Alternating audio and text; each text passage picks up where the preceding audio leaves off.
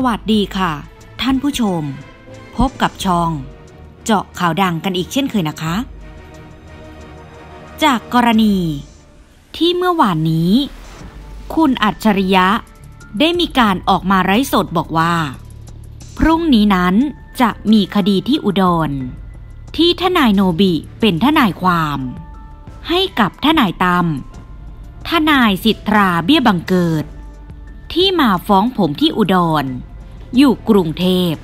แต่มาฟ้องผมที่อุดร และวันนี้เราก็อยู่ที่สมุทรปราการ เขาให้ไปอุดรเราก็ไป เรื่องของเขา เขาฟ้องมาเราก็มีหน้าที่ คือสู้คดีกันไป พรุ่งนี้มีคดีอยู่ที่อุดร บ่ายโมงครึ่ง ที่ทนายตั้ม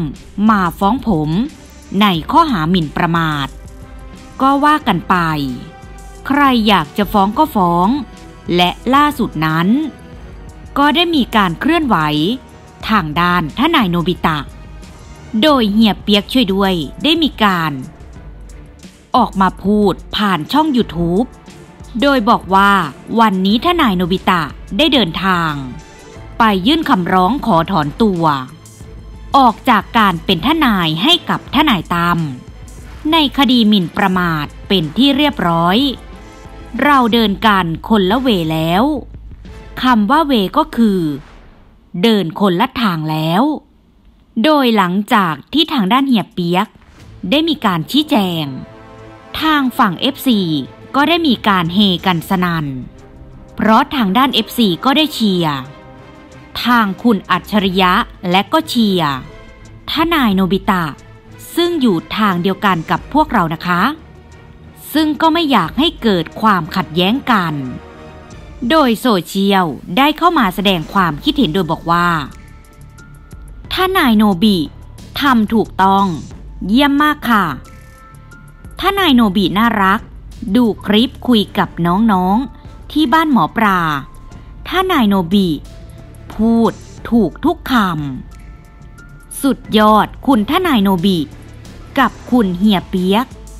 นับถือน้ำใจจริงๆ สุดยอดเลยค่ะทนายโนบิเขาเข้าใจเสมอ อะไรดี อะไรชั่วทนายโนบิเขารักผู้ใหญ่ เสมอทนายโนบิทำดีที่สุด ดีแล้วจ้าทนายโนบิ ที่ถอนตัว อย่าตกเป็นเหยื่อของท่านหน่วยคนนั้น ขอชื่นชมทนายโนบิ ผู้รักความยุติธรรม อยู่ฝั่งคุณธรรม ถูกต้องแล้วครับ ดีแล้วครับทนายโนบิทำถูกต้องแล้วครับ อย่าเสียงเล่น กับคุณอัจฉริยะ ประชาชนรัก และให้กำลังใจคุณอัจฉริยะจำนวนมาก ถ้าคุณศัตรู กับคุณอัจฉริยะ ก็เหมือนกับ เป็นศัตรูกับประชาชนจำนวนมาก คุณทำถูกต้องแล้วครับ ขอชื่นชมครับ สุดยอดเลยค่ะ ท่านนายโนบิตะทำถูกต้อง แล้วค่ะ ท่านนายโนบิตะ และเฮียเปียก ดีใจที่ท่านนายโนบิตะ กับเฮียเปียก อยู่ข้างคนดี ที่ไม่เข้าข้างคนร้าย รักท่านนายโนบิตะ และเฮียเปียกค่ะ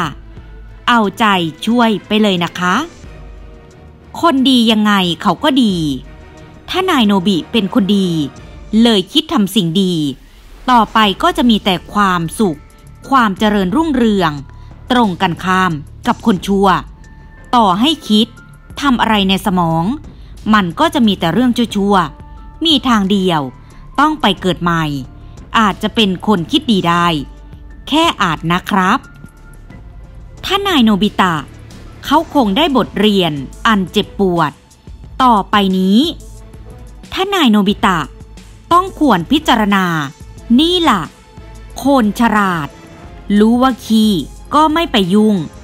เดี๋ยวกลิ่นจะติดตัวคนดี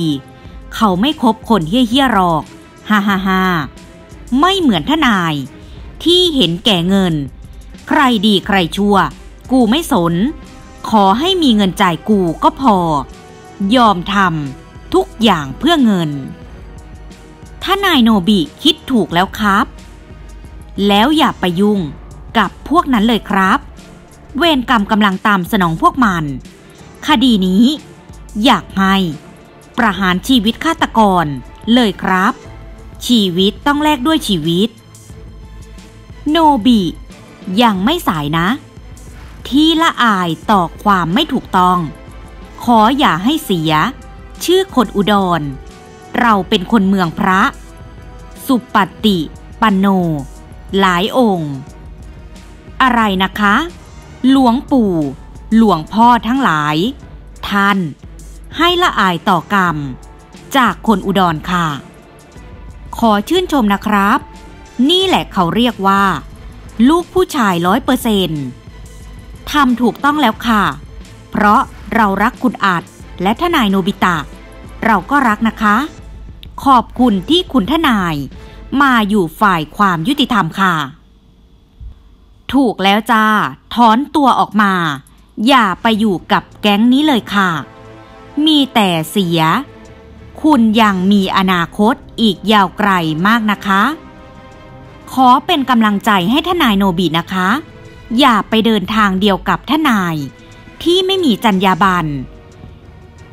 ในองค์ประกอบอาชีพทำเพื่อเห็นแก่เงิน ไม่มีความซื่อสัตย์สุจริตในการประกอบอาชีพของตัวเอง ใช่ค่ะ เลิกคบทนายตั้มได้แล้ว ในเมื่อตั้มว่าความให้ไอ้ผวย มัน ไอ้เนลคุณ คุณหมอปลาโนบิตะ อยู่กับหมอปลาถูกต้อง ไม่งั้น คนจะเกลียดทั้งประเทศ ตามทนายตั้มนะ ขอให้ โนบิตะ ถอยห่างๆไปเลยจ้า ดีแล้วจ้าทนายโนบิและเฮียเปียก ขอยืน ทางที่ถูกต้องถ้านายโนบิทำถูกต้องแล้วนะคะ คุณอัจฉริยะทำเพื่อสังคมและความถูกต้อง ดีกว่าทนายบางคน ที่พยายามจะสร้างหลักฐานพยานเท็จ เพื่อให้ผู้ทำผิดพ้นผิด ในที่สุดท่านายโนบิตะก็ถอดตัวออกจากการร่วมงานกับท่านายตามที่ไปฟ้องหมิ่นประมาทคุณอัจฉริยะ ที่จังหวัดอุดรแล้ว ไอ้ทนายโจรก็เคยใช้หลักฐานเท็จ เอกสารปลอม เริ่มหมดผู้ช่วยไปเรื่อย ๆ แล้ว เพราะความชั่วของมัน ไอ้ทนายกิกก๊อก สุดยอดเลยครับ ทนายโนบิตะทำถูกต้องแล้วครับ